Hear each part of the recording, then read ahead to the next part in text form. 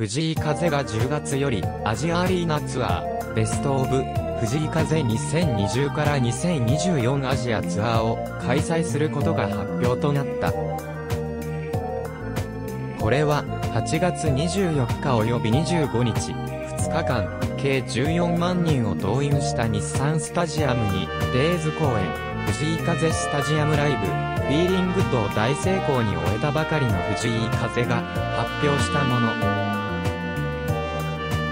昨年2023年に自身初のアジアツアーを観光したが、今年は全公演をアリーナ会場にスケールアップして実施される。合わせてツアーのキービジュアルと特設サイトも公開となった。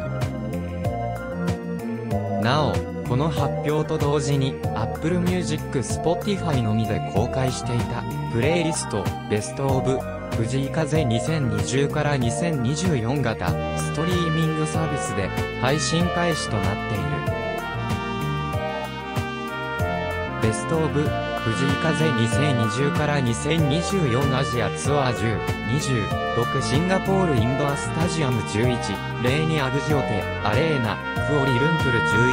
11、09インパクトアレーナ、バンコク11、10 IMPACT Arena、バンコク11、16台北 Arena 11、30 Beach City International Stadium、ジャカルタ12、04 AsiaWorld-Arena、香港12、10SM モールオブアジアアレーナ、マニラ12、14 Gocheok Sky Dome、ソウルモア、藤井風スタジアムライブ、 Feelin' Good 8月24日、土曜日日産スタジアム8月25日日曜日、日産スタジアム初日公演 YouTube 制、中継8月24日、土曜日午後5時45分制、中継スタート予定アーカイブ期間、8、26月曜日午後4時まで、